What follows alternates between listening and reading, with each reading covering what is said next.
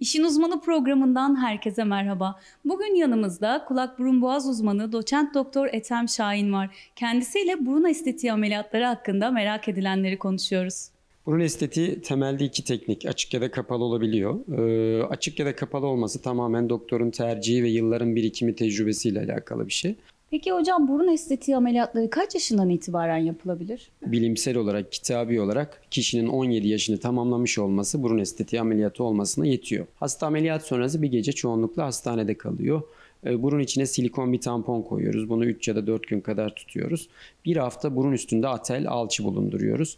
O bir hafta süre içinde hasta mümkünse ameliyatın olduğu şehirde bulunmasında fayda var. Ama Üçüncü gün itibariyle silikonu çektikten sonra hasta örnek veriyorum İstanbul'da şehir turuna katılabiliyor. İşte yemesi, içmesi üçüncü gün itibariyle tamamen serbest. Birinci haftada da hastanın alçısını atelini alıyoruz. Atel alçısını alıp hastayı ülkesine veya şehrine veya İstanbul içindeyse de evine gönderiyoruz. Hastayı belli aralıklarla fotoğraflarını çekiyoruz. Bir takım belki masajlar öneriyoruz. Bir üç ay önemli olan şey hastanın mümkünse gözlük takmamasını ben kişisel olarak öneriyorum.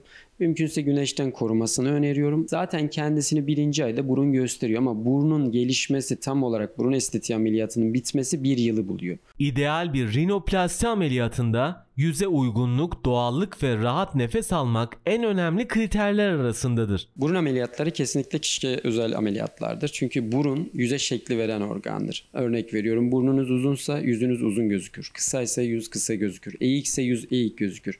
Ve biz burun ameliyatlarından sonra yüzün nasıl değiştiğini çok yakından görebiliriz. O yüzden mutlaka ideal bir e, burun estetiği için kişiye özel bir uygulama şart. İdeal rinoplastinin olmazsa olmazı birincisi mutlaka nefes alan bir burun olması lazım. Kişi aa çok güzel gözüküyor fakat birinci yıldan sonra nefes alma problemleri başlıyorsa bir sorun vardır. O yüzden ideal rinoplasti için mutlaka kişiye özel burun tasarlamak lazım ya da burnu ona göre planlamak lazım. İşin Uzmanı programından şimdilik bu kadar. Bir sonraki bölümde görüşünceye dek sağlıkla kalın.